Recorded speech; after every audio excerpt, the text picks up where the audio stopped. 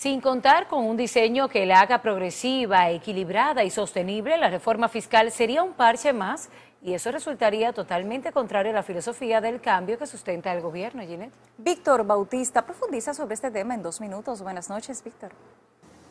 Hola, ¿qué tal? Saludos. ¿Necesita el gobierno una reforma fiscal en esta coyuntura? La pregunta tiene múltiples respuestas según la escuela económica y los intereses.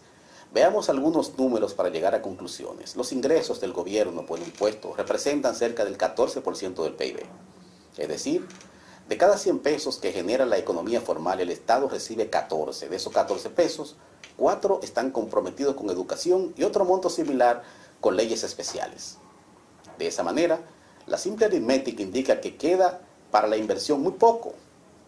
Muy poco. La inversión es la clave para el crecimiento y el desarrollo humano. Dado lo limitado de los ingresos, tenemos una deuda que representa actualmente el 58% del PIB con pagos de intereses equivalentes a lo destinado a educación.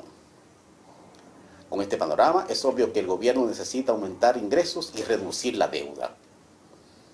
Pero una reforma tributaria mal diseñada sería contraproducente. Subir impuestos a sectores ya cargados puede incentivar la informalidad, la ilegalidad y la evasión, dañando áreas generadoras de riqueza una reforma tributaria inteligente, fue descrita hace poco por el empresario Marcial Narri con una simple expresión, cazar fuera del zoológico.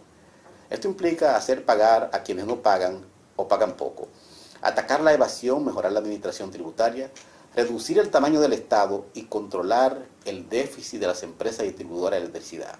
Subir tasas e impuestos fáciles de administrar sería como un parche más, una reforma forzada por la fiebre de lograr la categoría de grado de inversión es como graduarse con honores y no poder trabajar.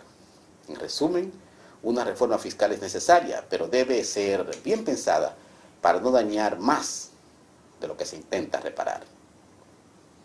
Hasta la próxima.